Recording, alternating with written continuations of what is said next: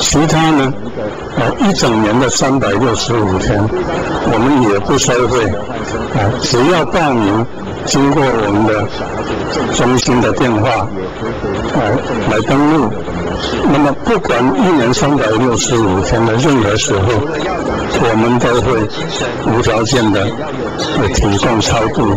但是呢，澎湖跟高雄的细胞，我们都在这一次今天米兰盆法会里面，让他离苦得乐，呃，超生活佛。在这个地方，预祝我们所有的往生者都离苦得乐，不再受六道的轮回。法界圆觉宗诺那学会常年来给予普报众生恩的报恩心和慈悲心，度化一切众生，共需解脱，离苦得乐，默默地为世界祥和安乐来尽一份心力。法界新闻五云曲台中采访报道。懂得报恩的人内心是富有的，因为自己有力气，才能够帮助别人。我们无时无刻所升起的念头，都是被什么力量在推动呢？每个念头的升起及相续的动向，是否和我们的业力有关？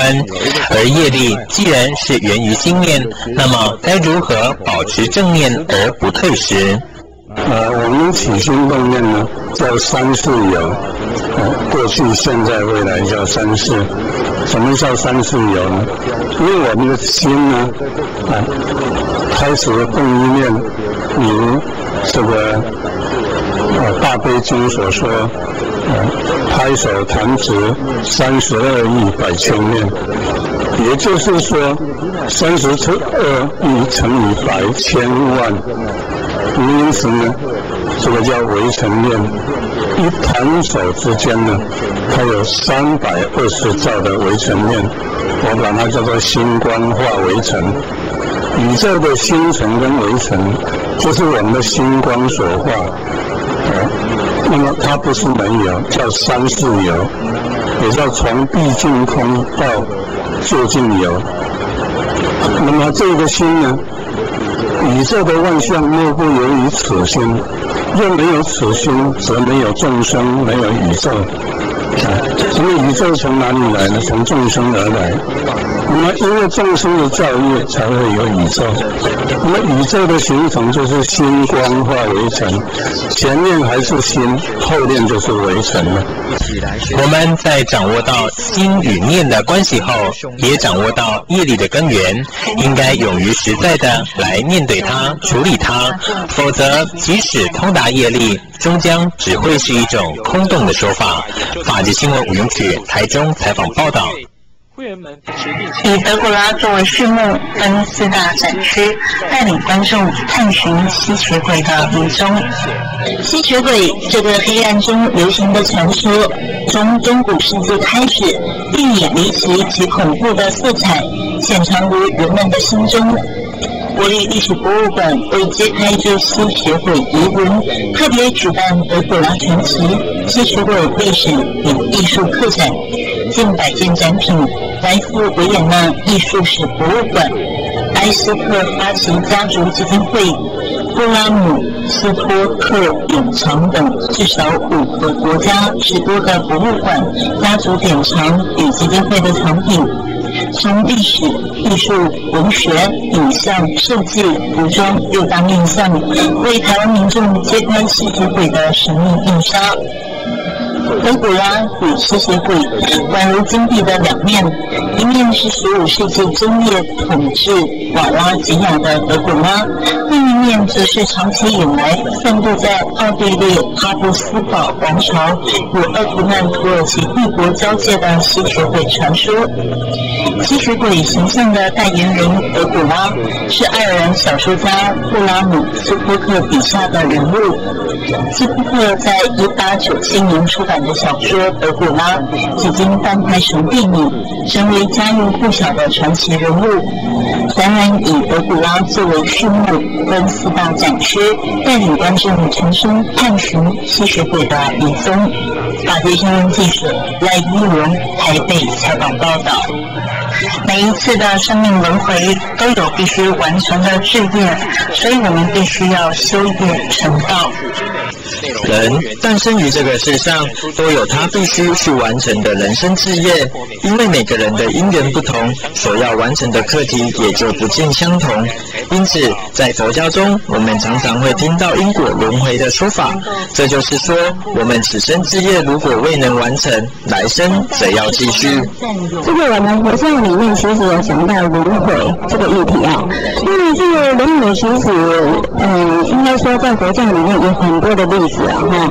在古代有很多例子也在啊，比如说杨阳明啊等等，其实有很多例子都在告诉我们，生命其实不有不是只有这么一次，它是有这个轮回这样的。那假设说，假设真的是轮回存在，那我们这辈子你又要人间做什么？是吧？我们一世一世，你又回到人间到底要做什么？为什么你需要一次又一次来到人间？到底你在忙什么？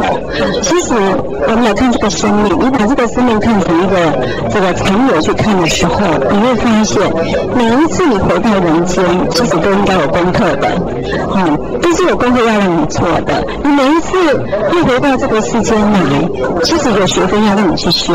那每一次的议题可能是不一样，但是我们举一个例子，比如说。你的人际关系不好，好，那为什么人际关系不好？可能你有某方面的执着，哈，比如说你很自我啦，哈，你不太会去照顾别人啊，等等等。那你这个习性一直非常自我，很自私。如果你这个学学分没有好好去修，那你下辈子还不是又回来？就算你被当掉了嘛，所以你又要回来修这一门人际关系啊。生命的轮回并非都是不好的，只是要让我们去修补自己。生未能完成的缺憾，这也是每个人都会有的一道障碍。等到你能诚实面对这项缺点，去完成这项课题，那么你的人生才会圆满。法界新闻杨志忠台南采访报道。透过修行，除了制度之外，我们也希望能够利他。对于轮回，因为讲到因果循环，许多人会害怕坠入六道中的其他道业中。其实应该说，轮回的目的应该是一种正面积极性的。我们应该要正面去面对，把你拥有的好再修持更好，缺失则要努力去修补。所以，我们讲到这个轮回，其实轮回的目的是做什么？就要让你更好，让你更有机会，一次一次的机会给你，就像一个老师不放弃学生一样，佛陀一样，永远不放弃我们这些我们这些众生，一次一次的机会。给你啊，希望你更好，好还要再更好啊！所以我们讲到看上人间走一回，意思就是说，因你走完这一生里面，你到下一生里面，你到底学到什么？你到底你的生命意义是什么？假设我们每一个人知道你在你来人世间的意义要做什么时候，你生活就有目标，你生活也会更有方向，你在生活也会更快乐。嗯，所以呢，我们讲到人的事情，它不是一个消极，它其实一个。积极的一个面向，就好像一年的春夏秋冬四季，每一季都是不一样的，每一个每一次的心情也会不一样。那只有你什么？你去用心耕耘的时候，你就会发现你又成长了。所以轮回的意义就是一次一次要让你成长，直到你。真的是圆满的为为止哦，即使是圆满，你还是一样会回到人间来干嘛呢？来照顾其他众生啊，来帮助其他众生啊。所以，人人有这个意意义，其实是积极性的，并不是消极性的。经过累世的轮回，是我们不断累积修持福报的途径，让我们的好还要更好，直到修持圆满。若能再次轮回人世，则要我们用自身的圆满去度化红尘俗世的众生。让他们能顿悟人生真理，追寻此生未完成的志业。法界新闻杨志忠，台南采访报道。